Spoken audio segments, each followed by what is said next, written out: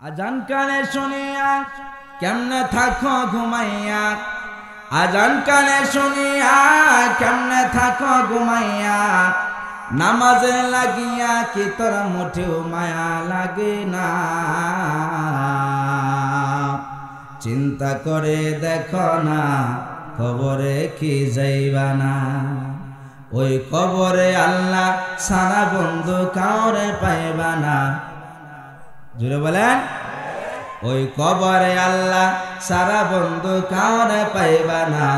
চিন্তা করে দেখো না, কবরে কি যাইবা না। চিন্তা করে দেখো না, কবরে কি যাইবা না। কেননা আমার আল্লাহ পাক রব্বুল আলামিন আল্লাহু ওয়াসিউন আলিম।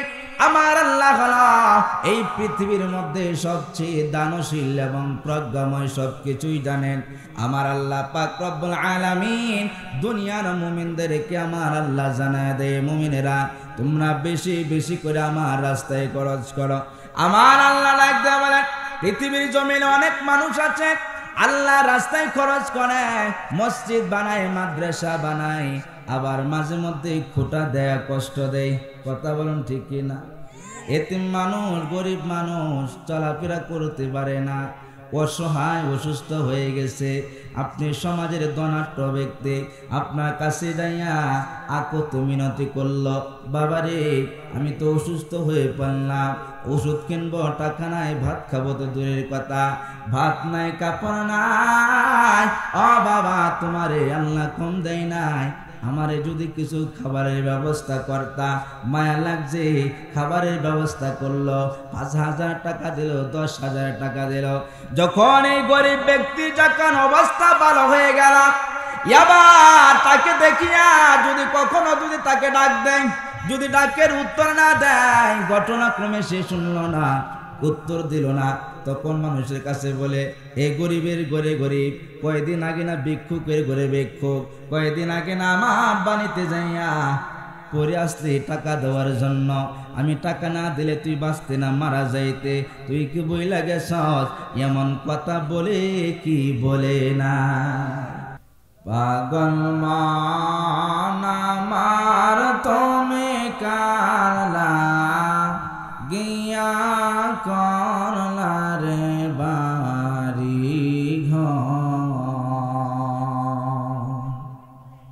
পাগল মার তুমি কারলা গিয়া করলা রে সুখের ঘর। ওপর তলায়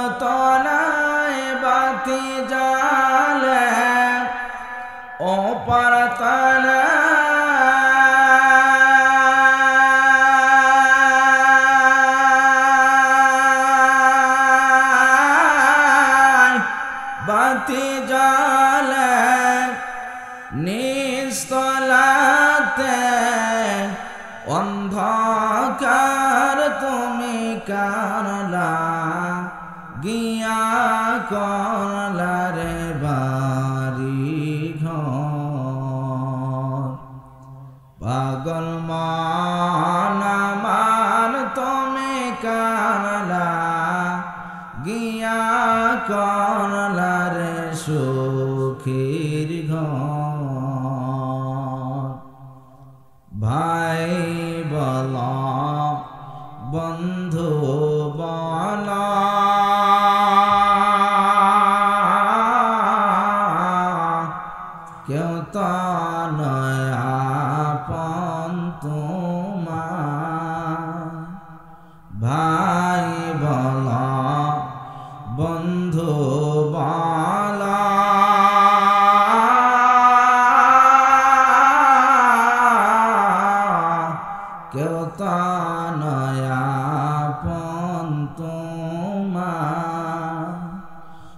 চারটা দিন কে দেখে হক দু চারটা দিন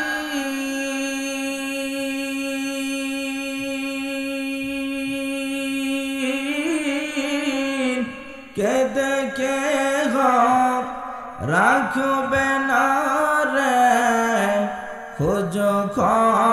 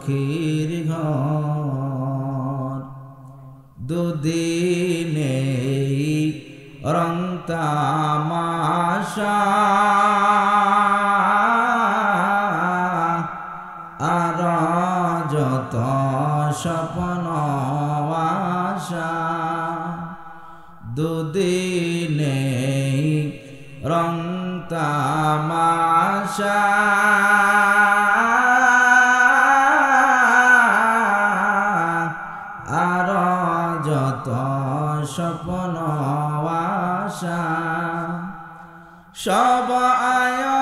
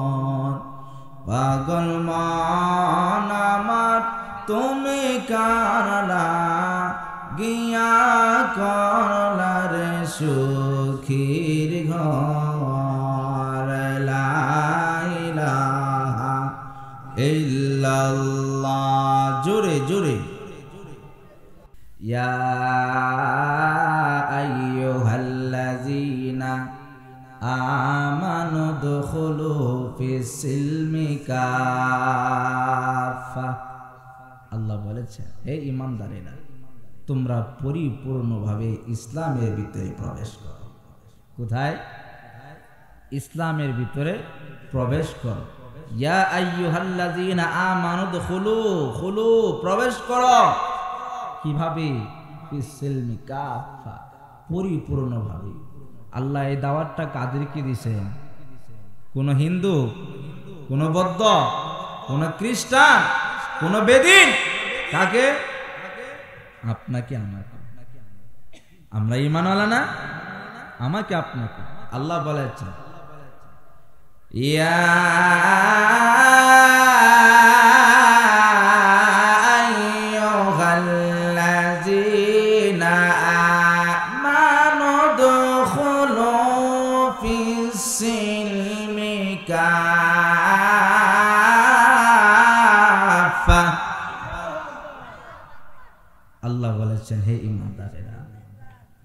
পরিপূর্ণভাবে ইসলামের ভিতরে প্রবেশ করো। যে নামাজ পড়ে, সে আল্লাহরে বিশ্বাস করে। আর যে পড়ে না, সে করে না? করে তো। যে নামাজ পড়ে, তারে যদি জিজ্ঞাসা করেন, আল্লাহ কয়জন? বলবে একজন। আর যে পড়ে না, আপনাদের সমাজের আব্দুর রহমান। যে নামাজ পড়ে না, তারে জিজ্ঞাসা করেন আব্দুর রহমান, আল্লাহ কয়জন? সে কি পাঁচজন বলবে? কয়জন? একজন বলবে। আবার যে সুদ খা সে কয়জন বলবে? যে গোসকা যে অন্যের গরিব, এতিম, মিসকিনদের মাল লুণ্ঠন করে খাসে। আল্লাহ পাক রব্বুল আলামিন এই মুসলমানদেরকে ডেকে ডেকে আমার আল্লাহ বলেন। বেনামাজিদেরকে আমার আল্লাহ ডেকে বলেন, যে সমস্ত মহিলারা পর্দার মধ্যে থাকে না। আমার আল্লাহ ওই মহিলাদেরকে ডেকে বলেন, যারা সুদি কারবারে লিপ্ত, আমার আল্লাহ তাদেরকে ডেকে বলেন, যারা কোরআন পড়তে পারে না, আমার আল্লাহ তাদেরকে ডেকে বলেন, যারা সুদ খায়, ঘুষ খায়, আমার আল্লাহ তাদেরকে ডেকে বলেন, যারা সমাজের এতিমদের মাল আত্মসাৎ করে কা সম্পদ সম্পদ জোর জুলুম করে নাই আছে না নাই? আমার আল্লাহ পাক রব্বুল আলামিন এমন মুসলমানদেরকে ডেকে বলেন মুসলমানেরা, তোমরা যারা নামাজ পড়ো না, পরিপূর্ণভাবে নামাজ পড়ে ইসলামের ভিতরে প্রবেশ করা।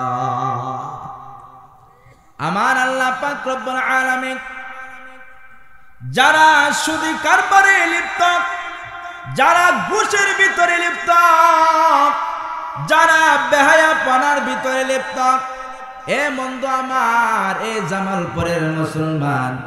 আমার আল্লাহ তাকে ডেকে বলে, তোমরা সুদ ছাড়িয়া, ঘুষ ছাড়িয়া, আল্লাহর বিধানগুলি পরিপূর্ণভাবে মানে মানিয়া, তোমরা পরিপূর্ণভাবে ইসলামের ভিতরে প্রবেশ করো। যদি তোমার সামনে, তুমি যদি ইমানওয়ালা হও তোমার ভিতরে যদি ইমানের আলো থাকে, ইমানের নূর থাকে, তাহলে তোমার সামনে যখন আমি আল্লাহর নামটা স্মরণ হবে, এ মুসলমান, এ জামালপুরের বন্ধু, এ মুরব্বী বাবা, এ পর্দানিসি মা, আমার আল্লাহ বলেন, আমি আল্লাহর নামটা বলার সঙ্গে সঙ্গে তোমার ভিতরটা ভয়ে কম্পিত হয়ে যাবে। তাহলে বুঝতে হবে, বুঝতে পারবা তোমার ভিতরে ইমান নামক দৌলত আছে, আর যদি ভিতরটা ভয়ে কম্পিত না হয়, কোনো আলেমের কাছে জিজ্ঞাসা করা দরকার নাই, কোনো মুক্তির কাছে জিজ্ঞাসা করা দরকার নাই, কোনো ইমাম সাহেবের কাছে জিজ্ঞাসা করা দরকার নাই। তুমি নিজে নিজে ধারণা করে নিও, বুঝে নিও, তোমার ভিতরে ইমান থাকতো ইমানের নূর নাই। কথা বলেন ঠিক কি না ইমানওয়ালা কিন্তু ইমানের নূর নাই।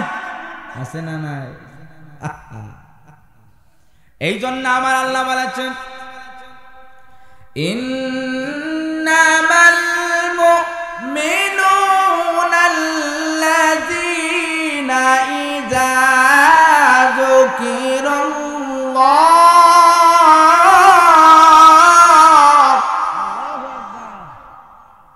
আল্লাহ বলেছেন, যদি তোমার ভিতরে ইমানের নূর হয়, যদি তোমার ভিতরে ইমানের নূর থাকে, তাহলে আমি আল্লাহর নামটা যখন তোমার সামনে বলা হবে, আল্লাহর কথা যখন তোমাকে শোনানো হবে, তখন তোমার ভিতরটা ভয়ে কম্পিত হয়ে যাবে।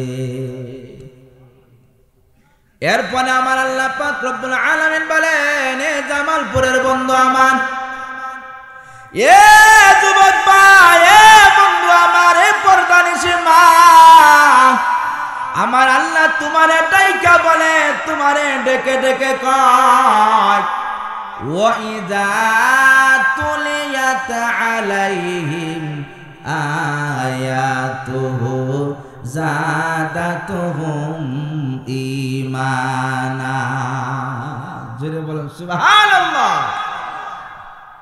আল্লাহ আলামিন বলেন, যদি ইমানে নূর তোমার ভিতরে থাকে ইমানে পাওয়ার তোমার ভিতরে থাকে, যখন আমি আল্লাহর কালামটা তোমার সামনে তেলাওয়াত করা হবে, তখন তুমি আর সইতে পারো না। কালামের পাওয়ারে কালামের তেলাওয়াতের, আল্লাহর কালামের নূরে তোমার ভিতরটা আলোকিত হয়ে যা ভিতরটা খান খান হয়ে যা, আখেরাতে চিন্তা তোমার কাঁদতে হয় না। কান্না সারা তোমার চোখ থেকে পানি টপ টপ করে পড়ে যখন আল্লাহর কালামের কথা বলা হয়, আল্লাহর কালাম কালামগুলি শোনানো হয় কালামের কত পাওয়ার? কত পাওয়ার? আমার আপনার নবী যখন মুসলমানদের সামনে, কোনো বিধর্মের সামনে যখন কালামে পাকে তালাওয়াত করত, আমার নবী যখন ডাক দিয়ে বলতো, কোরআনের কালামের কোরআন তেলাওয়াত যখন শুরু করে দিত, এ বন্ধু আমার কাফেররা পাগলের মতন হয়ে যাইত, অথচ কিন্তু ইমান আনে নাই। আবু জাহেল উদ্বাসে বা বড় বড় লিডাররা। আমার আপনার নবীর পবিত্র জবান থেকে আল্লাহর কালাম শোনার জন্য ওয়ালের মধ্যে কানটা পেতে পেতে অপেক্ষা করত মোহাম্মদ। কতক্ষণ জানি কোরআন তালাওয়াত করে। জোরে বলুন, সুবহানাল্লাহ। আরও জোরে। কালামে পাকেন এত পাওয়ার এত পাওয়ার। এ বন্ধু আমার আমার নবী যখন কালামে পাকের তেলাওয়াত করত, বিধর্মীরা কালামে পাকের পাওয়ারে নূরে, ভিতরটা, ভিতরে যত সিরিকি ছিল, কুফুরি ছিল, সমস্ত কুফুরকে চূর্ণ বিচূর্ণ করে, সমস্ত সিরিককে চূর্ণ বিচূর্ণ করে দেব দেবীদের ভালোবাসাকে খান খান করে আমার নবের হাতে হাত রেখে পাগল হইয়া বলতো, মোহাম্মদ, আর দেরি করো না। আমাদেরকে পড়ায়া দাওলা ইলাহা ইল্লাল্লাহু মুহাম্মাদুর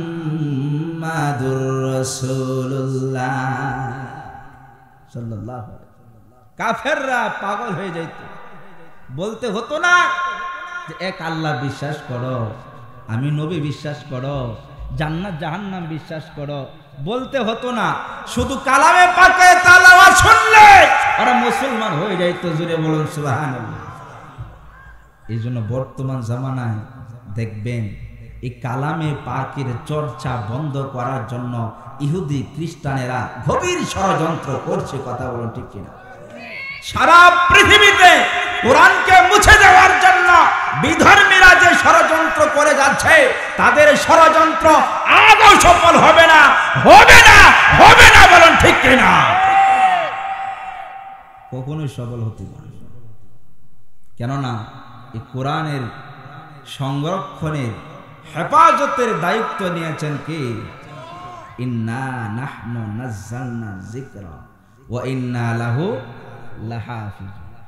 আল্লাহ হেফাজতের ক্ষমতা, হেফাজতের পাওয়ার, দায়িত্ব স্বয়ং আল্লাহ যদি নিয়ে থাকে, পৃথিবীর কোন বাবার ক্ষমতা আছে। আরও জোরে বলেন।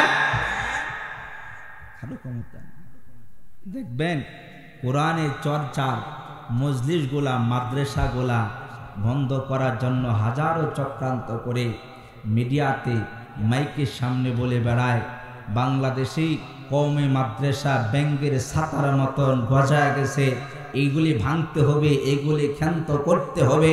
এই কথা বলে সে মুসলমান থেকে খারিজ তো হচ্ছেই হয়ে হয়েছে। বরং মুসলমানের ইমানকে ধ্বংসের যে যে ষড়যন্ত্র করেছে পৃথিবীর জমিনে, আল্লাহ যদি সত্য হয়, তার বিচার হবেই হবে, কথা বলুন কিনা? মাদ্রাসা ব্যাংকের সাতার মতন গজাইছে না। মাদ্রাসা ব্যাংকের সাতার মতন গজাইছে। মসজিদ, মাদ্রাসা, যারা ভালোবাসে না, তারা নবীর উম্মত হতে পারে না। মাদ্রাসা যারা ভালোবাসে না, তারা মুসলমান হতে পারে না, জোরে বলেন ঠিক কিনা? মুসলমান আরও জোরে বলেন ঠিক না বেঠে এই পৃথিবীতে একমাত্র মালিক হচ্ছে আমার আল্লাহ। আসমানের মালিক আমার আল্লাহ, জমিনের মালিক আমার আল্লাহ, বাতাসের মালিক আমার আল্লাহ, সূর্যের মালিক আমার আল্লাহ, চন্দ্রের মালিক আমার আল্লাহ সব কিছুর মালিক আমার আল্লাহ। এই পৃথিবীতে একমাত্র আল্লাহর হুকুম থাকবে, আর কারও হুকুম চলবে না, কারও হুকুম মানতে পাই না জোরে বলুন, ঠিক না বেঠে আল্লাহর জন্য জীবন দিতে রাজা আছেন? জোরটি হাত আল্লাহকে দেখা দেন। আল্লাহর জন্য যদি জীবন দিতে হয়, কোরআনের জন্য যদি জীবন দিতে হয়, শাহাদাতের পেয়ারা যদি পান করতে হয়, একবার নয়, হাজার বার যদি করতে হয়, আমরা জামালপুরের এই মাঠ থেকে ঘোষণা করতে চাই, হাজার বার আল্লাহর জন্য জীবন দিব। এই পিস্তা হবে না হবে না হবে না বল ঠিক না বেঠি আল্লাহ পাক সবাইকে কবল করুন ধীরে বলুন, আমিন। মাদ্রাসা যদি হয়, এটা এলাকার জন্য রহমত না গজব? আর জুড়ে বলেন, রহমত না গজব? কেমন রহমত? যেখানে এই কোরআন আসমানি কালাম। নবীজি যা বলেছেন, সেটাও আসমানি কথা। কথা বলেন ঠিক কিনা? কেননা মোহাম্মদ হার গজনা গুপ্তা তানা গুপ্তা, জিব্রাইল জিব্রাইল হার গজনা গুপ্তা তানা গুপ্তা, রব্বুল জলিল। মোহাম্মদ ততক্ষণ পর্যন্ত কোনো কথা বলে না, যতক্ষণ না জিব্রাইল তাকে না জানায়। জিব্রাইল ততক্ষণ পর্যন্ত কোনো কথা বলে না, যতক্ষণ না আল্লাহ জিব্রাইলকে না জানে জুড়ে বলুন সুবাহান তার মানে আমার নবী যা বলে সব আসে থেকে আর জুড়ে বলেন থেকে আসে? আল্লাহ থেকে আসে তো মাদ্রাসা এলাকাতে হোক, এটা আমরা চাই না কে কে দুইটা হাত দেখি? সবাই চায়, এখানে মাদ্রাসা আপনাদের আজকে।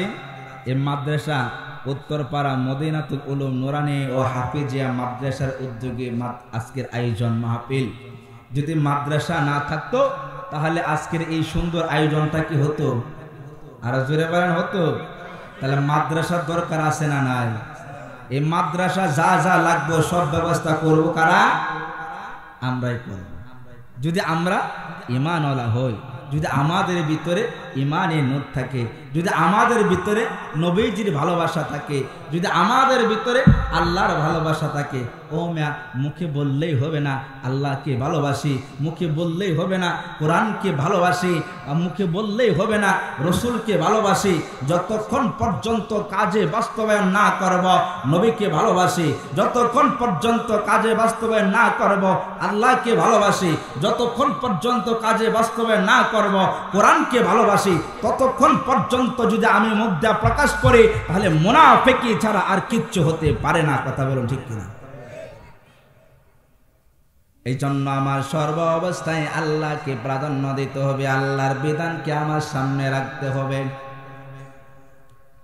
আমার আল্লাহ পাক রব্বুল আলামিন গুনাহগুণ বর্ণনা করার পরে বলেছেন, এ জামালপুরের বন্ধু আমার আমার আল্লাহ রব্বুল আলামিন বলেছেন, মুমিন যারা হবে, তাদের দুইটা কাজ, কয়টা কাজ?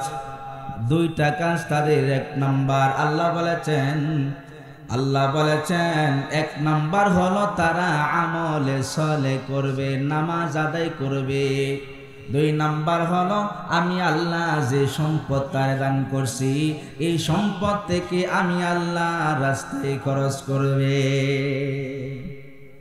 আমার আল্লাহ লাগতে বলেছেন মুসলমানেরা, তোমরা পরিপূর্ণ পরিপূর্ণভাবে ইসলামের ভিতরে প্রবেশ করো?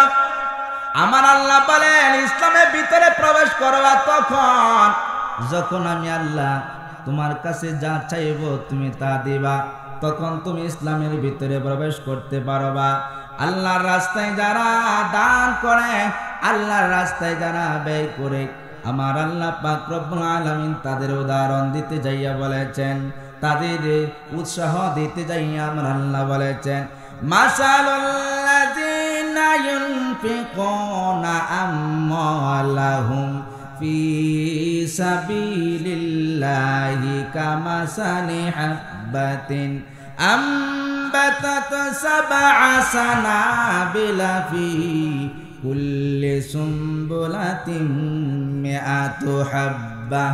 আমার আল্লাহ লাগতে পারেন যারা আল্লাহ রাস্তায় দান করে, যারা নিজেদের সম্পদ থেকে আল্লাহকে দান করে আল্লাহ রাস্তায় খরচ করে, আমার আল্লাহ বলেন, তাদের উদাহরণ হলো ওই বীজের মতো। যে বীজ একটা বীজ থেকে সাতটা শীষ দেয়, আর সাতটা শীষের মধ্যে একশো করে দানা হয়। জোরে জোরে বলুন সুবাহান আল্লাহ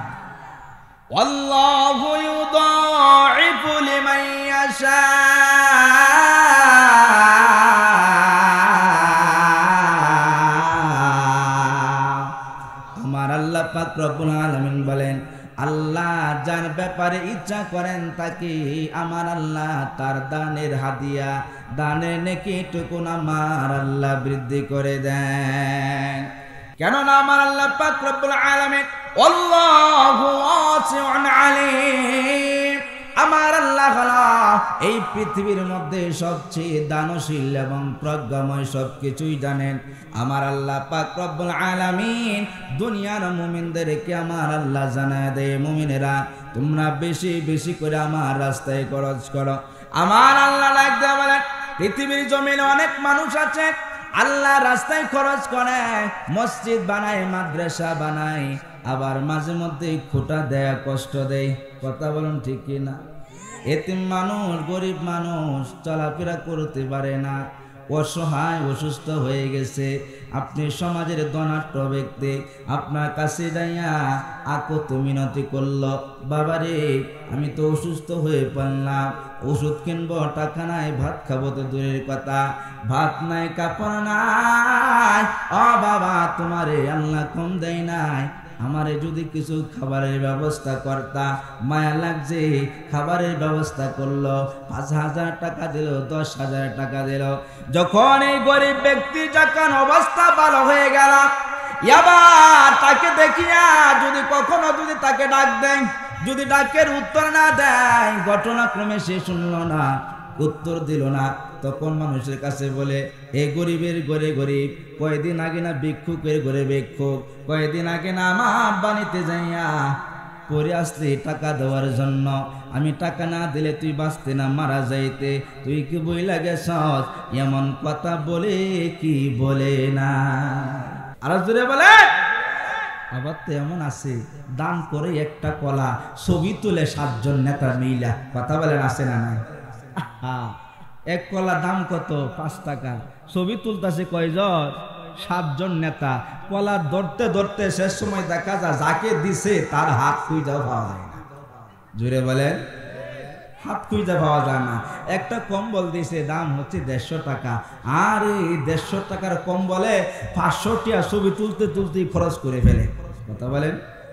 আর জোরে বলেন আপনাদের কষ্ট হচ্ছে। চলবে? আল্লাহ আকবার আল্লাহ আকবার, জোরে বলেন আল্লাহ আকবার। আমার আল্লাহ পাক রব্বুল আলামিন তাদেরকে ডেকে বলেছেন, ইয়া আইয়ুহাল্লাযীনা আমানু লা তুবতিনু সাদাকাতিকুম বিল মান্নি ওয়াল আযা কাল্লাযী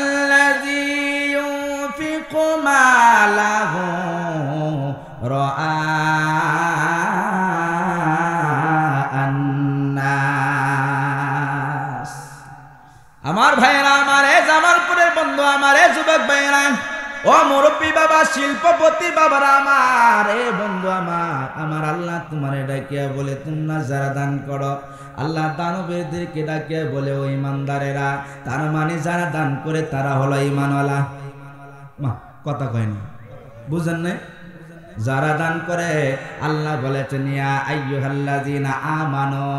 আল্লাহ কাদেরকে বলেছেন? ইমানওয়ালাদেরকে বলেছেন? আল্লাহ বলেছেন এই ইমানওয়ালারা তার মানে বোঝা গেল, যারা দান করে, তারা হলো ইমানওয়ালা আর যারা দান করে না, অর্থ সম্পদ আছে, তারা ইমানওয়ালা না বেঈমানওয়ালা?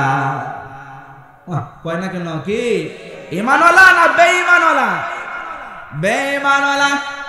এই জন্য ইমানওয়ালা যদি আপনি হতে চান এই বন্ধু আমার, যেই হোক আপনাকে না আপনি যদি মিনিস্টার হন, প্রধানমন্ত্রী হন, রাষ্ট্রপতি হন, এমপি মন্ত্রী হন চেয়ারম্যান হন মেম্বার হন ওয়ার্ডের একজন ক্ষমতাবান ব্যক্তি হন, মাস্টার হন, হুজুর হন, মুফতি হন, আলেম হন, ইমাম হন, হাফেজে কোরআন হন, যেই হন না কেন, ইমানওয়ালা যদি হতে চান, আমার আল্লাহ বলেছেন ইমানদারে না, লা তুবতিলু সাদাকাতিকুম বিল মান্নি ওয়াল আযা আমার আল্লাহ বলেন এই ইমানওয়ালারা তুমি দান করলা।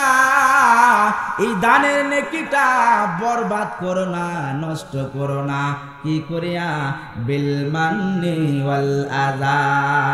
খোটা এবং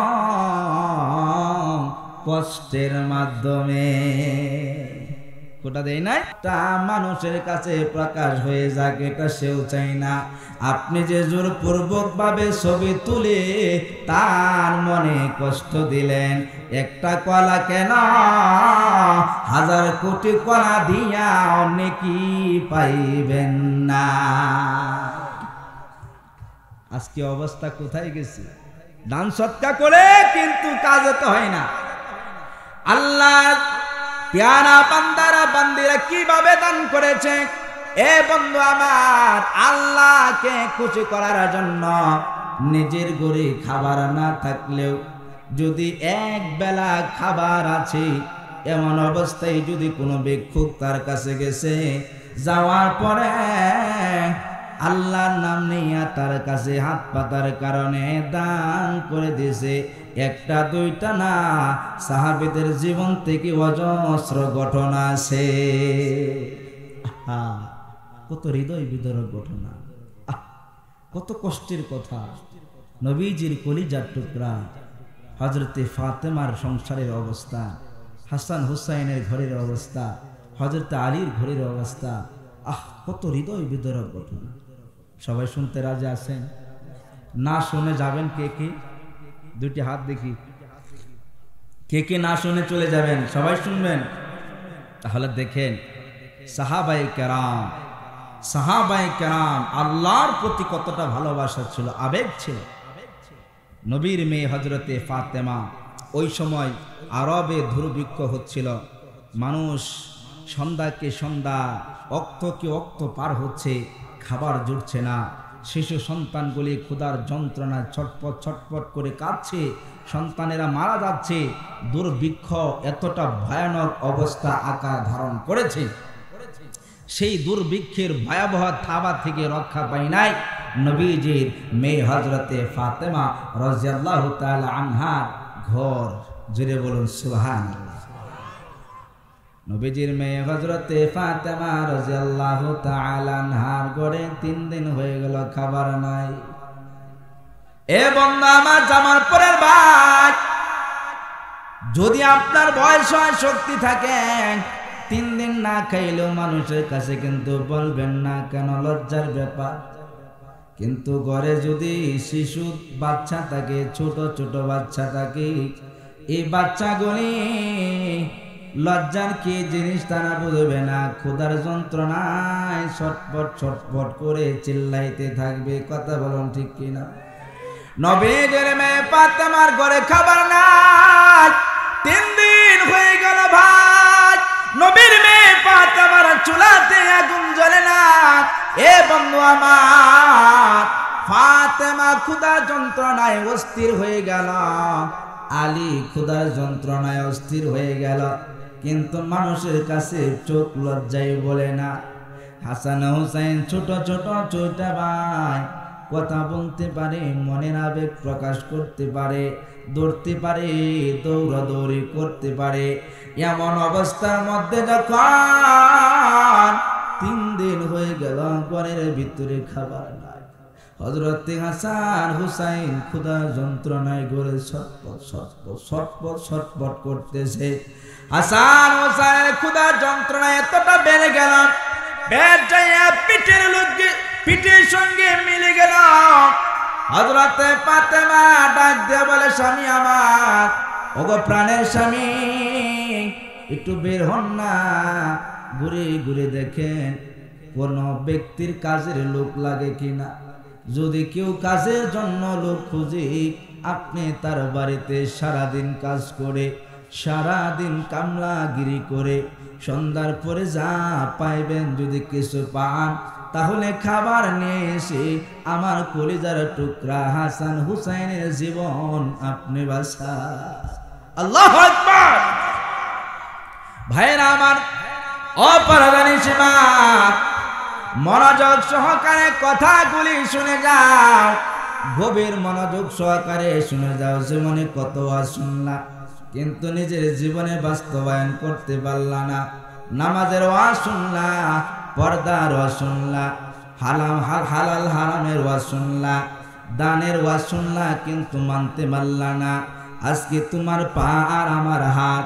অনুরোধ করে বলে জামাল পরের বন্ধু ও মুরব্বী বাবা আজকের ওয়াজটা জীবনে বাস্তবায়ন করবা তো হিংসা আরও জোরে বলুন হিংসা সবাই তো করবা ইনশাল্লাহ তাহলে আবার শোনা, হাসান হুসাইন খুদার যন্ত্রণা ছটপট ছটপট করছে। আলে ঘর থেকে বের হয়েছে, কামলা দেওয়ার জন্য কাজের সন্ধানে বের হয়েছে। সকাল থেকে সন্ধ্যা পর্যন্ত ঘুরঘুর ঘুরঘুর করে ঘুরছে। মানুষের দাঁড়ে দাঁড়ে গেছে। যাইয়া জিজ্ঞাসা করে, আপনাদের কাজের লোক লাগবো নি? আরে নবীজির মেয়ের জামাতা, উনি কাজের সন্ধানে ঘর থেকে বের হইয়া মানুষের বাড়িতে বাড়িতে যা। গড়ের কিনারায় যাইয়া সালাম দেয়, ও ভাই গড়ে কেউ আসরে তোমার কি কাজের লোক লাগবো নি? আমি এসেছি কামলা হয়ে তোমার গড়ে কামলা দিতে। কেননা আমার হাসান হুসাইন ক্ষুদার যন্ত্রণায় ছটপট করছে। আমার হাসান হুসেন রে বাঁচাইতে হবে যদি তোমাদের কামলা লাগে। আমাকে রাখো। আমি কামলা দেওয়ার জন্য তোমার বাড়িতে এসেছি। হজরত আলী রাদিয়াল্লাহু তাআলা সকাল থেকে সন্ধ্যা পর্যন্ত এভাবে সারাদিন ঘুরো ঘোরা ঘোরাঘুরি করলেন। কিন্তু কারও বাড়িতে কাজের সন্ধান পাইলেন না, কেউ ওনারে কাজের জন্য নিল না। মদিনায় তো দুর্ভিক্ষ চলছে, কেউ কাজের জন্য ওনাকে নেই নাই। সন্ধ্যা হয়ে গেল, এবার মনের ভিতরে বড় কষ্ট বেড়ে গেল। আলী চিন্তা করল, সকাল থেকে আমি বাড়িতে নাই। অবশ্যই হাসান হুসাইন বাতের জন্য কান্না করেছে। তার মা সান্ত্বনা দিছে, তোমার বাবা খাবার আনতে গেছে। আমার সন্তানগুলি তো খাবারের অপেক্ষায় আছে। আমি সারাদিন গুড় গুড় করে গুল্লাম রাত্র হয়ে যাবে, রাত্র হয়ে গেল। হাসান হুসাইন খাবারের অপেক্ষায় আছে। আমি যাওয়ার পরে খাবার সাবে আমি বাবা হিসাবে। আমার সন্তানের সামনে খাবার দিতে পারব না। মনের ভিতরে কষ্ট নিয়া হজরতে আলী রাদিয়াল্লাহু তাআলা আনহু মসজিদে বসে বসে সাজদায় পড়ে কান্দে। আর মনে মনে ধারণা করে সিদ্ধান্ত নিয়েছে, রাত্র গভীর হয়ে যাব, আমার সন্তানগুলি ঘুমায় যাইবে। ঘুমানোর পরে আমি বাড়িতে গেলে আমার সন্তান খাবার চাইবে না। আমার মনের ভিতরে কষ্ট বাড়বে না।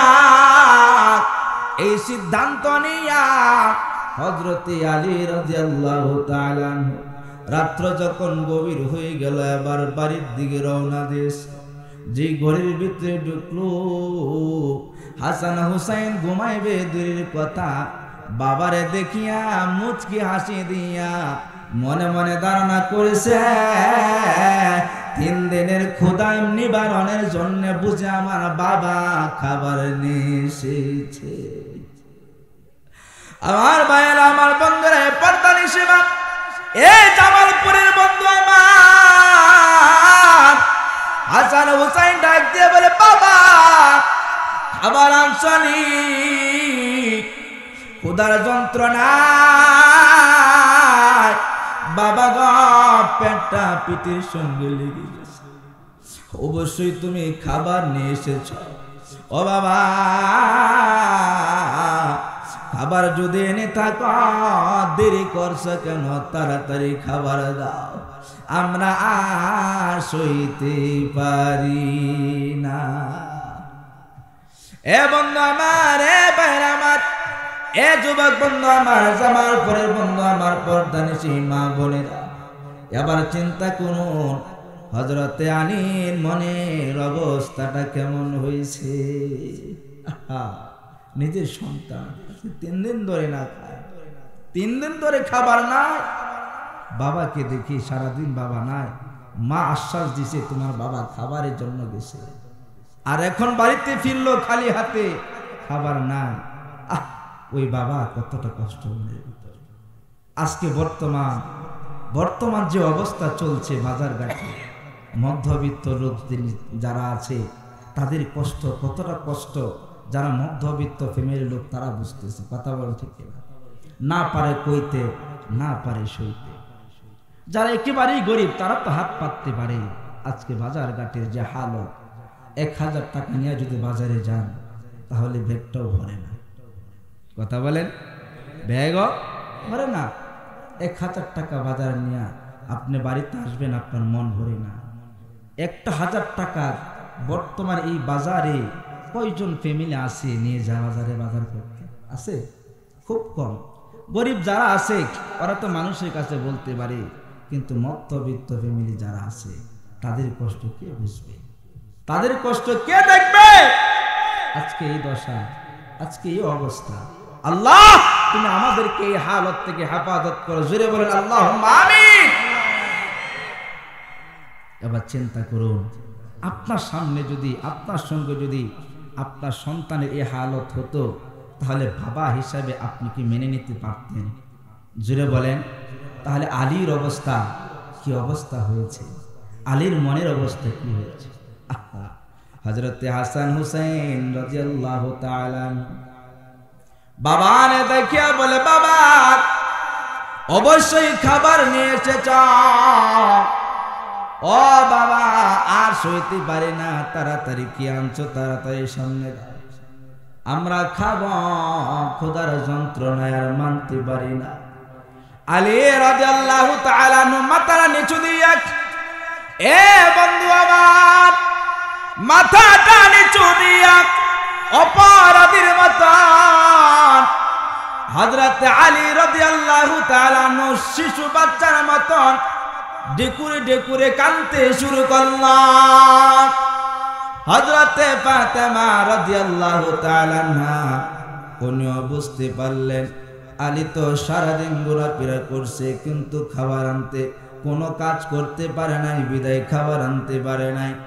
বন্ধু আমার হজরতে ফাতেমা হাসান হুসাইনকে ডেকে বলে, বাবারা, আজকে রাত্রটা তোমরা সবার কর সকাল হলে তোমার বাবা তোমাদের জন্য খাবার নিয়ে আসবে। হজরত হাসান হোসেন ডাকতে বলে, মা, এইভাবে আজকে তিন দিন হয়ে গেল আমাদেরকে সান্ত্বনা দিচ্ছ? ও মা, আর কত আমাদের কীভাবে সান্ত্বনা দিবা? তোমার যদি আমাদেরকে মারতে হয়, তাহলে না খায়ে কেন মারবা? মারার যদি চাহান গলা টিপে মেরে ফেল, কোনো কষ্ট লাগবে না। দোহাই লাগে মা, না খাওয়ায়া তিলে তিলে মায়ের না। আমার বন্ধুরা, আমার ভাইয়েরা পাল্টানিসিমাত অবস্থা কেমন হয়ে গেল? হজরতে ফাতেমার অবস্থা কেমন হলো? আলীর অবস্থা কেমন হলো? আমার ভাইরা একটাবার চিন্তা করে দেখো। আলী আর আলীর জায়গাতে দাঁড়ায় থাকতে পারে নাই। হজরতে ফাতেমা, হুসাইন, হাসান হোসেনের এই কথা শুনে আর বসে থাকতে পারে না দুজন স্বামী, স্ত্রী সাজায় পড়ে। আল্লাহর কাছে কান্দে আল্লাহ যদি মরতে হয় আমাদেরকে মারো। খাবারের অনহারে নবীজির কলেজার টুকরা, হাসান হুসাইন রে মায়রো না। এ ভাই আমার, এ বন্ধুরা আমার পর্দা নিসিমা। হাসান হোসেনের করুণ কথা, আলীর করুণ কথা হজরতে ফাতেমার করুণ কথা। বলতে বলতে বলতে বলতে রাত্র যখন শেষের দিকে চলে আসলো। মসজিদের মিনার থেকে মহাজিনের আজানের ধ্বনি চলে আসলো। হাইয়া আলাস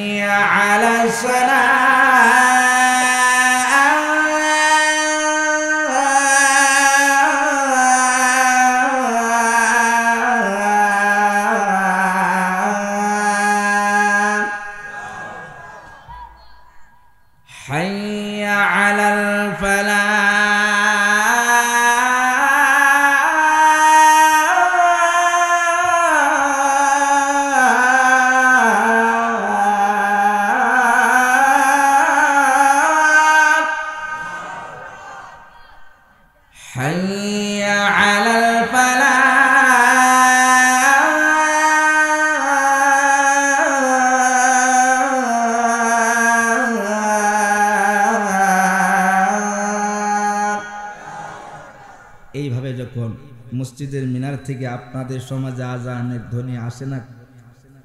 আসে না? আসে কি না? তখন সবাইকে নামাজে যা। জোরে বলে। কেন ভাই? নামাজে যান না কেন? নামাজ কি আপনার উপর ফরজ না? নামাজ পড়তে হবে না? আজান কানে শুনিয়া কেমনে থাকো ঘুমাইয়া? আজান কানে শুনিয়া কেমনে থাকো ঘুমাইয়া? নামাজে লাগিয়া কি তোর মুঠেও মায়া লাগে না? চিন্তা করে দেখো না, কবরে কি যাইবা না? ওই কবরে আল্লাহ সারা বন্ধু কাউরে পাইবা না। জুড়ে বলেন? ওই কবরে আল্লাহ সারা বন্ধু কাউরে পাইবা না। চিন্তা করে দেখো না কবরে কি যাইবা না? চিন্তা করে দেখো না, কবরে কি যাইবা না? এই কালিমা পড়বে যারা, কাজে লাগবে মরার বেলা। কথা বলেন ঠিক কিনা? এই কালিমা পড়বে যারা কাজে লাগবে মরার বেলা। এই কালে মার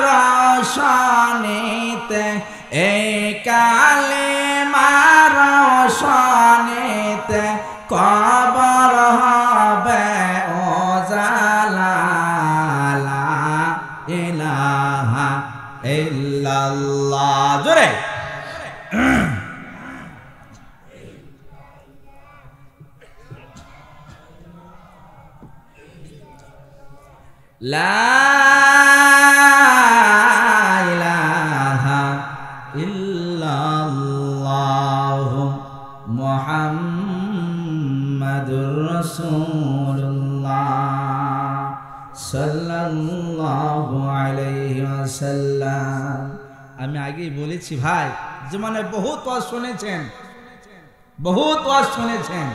নিজের জীবনে বাস্তবায়ন করতে পারলাম না। আমরা আজকে ওয়াদা করেছি, আজকের ওয়াজ আমরা বাস্তবায়ন করব। ওয়াদা করেছি কিনা জোরে বায়ান করেছি কিনা নবীজির দুলালির কলিজার টুকরা হাসান হুসাইন এবং ফাতেমা ও আলীর কি হালত? কি অবস্থা? করুণ অবস্থা। শেষ পর্যন্ত শুনে যাবেন কারা? নারায় তাকবীর। আমি আসতে কুম আপনারা নারায় তাকবীর। নারায় তাকবীর। আজকের ওয়াজ বাস্তবায়ন করব, আপনারা বলবেন, আজকের ওয়াজ আজকের ওয়াজ আজকের ওয়াজ আজকের ওয়াজ। আল্লাহর ঘর, আল্লাহর নবীর ঘর মাদ্রাসার জন্য। এই বড়া মসজিদ থেকে ঘটনা শুরু করব। একজন ব্যক্তি আগে চাই। জান্নাত কয়টা? জান্নাতের দরজা কয়টা বলেন তো? হ্যাঁ? আটটা জান্নাতের দরজা। আর আমার নবী আর হচ্ছে আল্লাহ। মোট কয়টা? দশটা। এই দশজন ব্যক্তি আগে চাই।